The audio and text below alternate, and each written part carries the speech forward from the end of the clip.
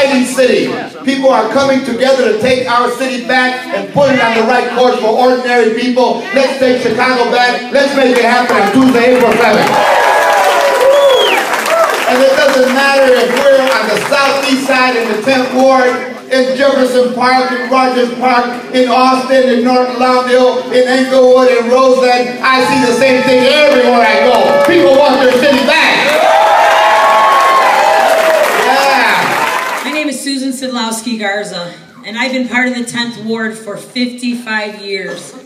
My family's been here for 140 years. I am really excited that we have a leader like Bernie Sanders in the room tonight. And a time when poverty is almost as high today as any time in the modern history of America, we got over 40 million people struggling to put food on the table. We have people working in my state 40, 50 hours a week and have to go to an emergency food shelf in order to feed their families.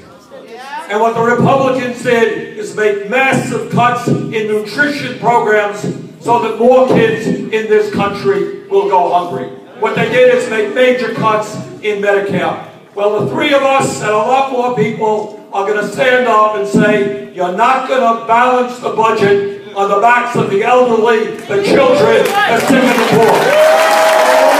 We need solid representatives. We don't need no weaklings. We don't need people who are going to have relationships and who will kowtow to the millionaires and the billionaires who hijacked our government. We need people who are going to fight for good jobs for everyone in Chicago.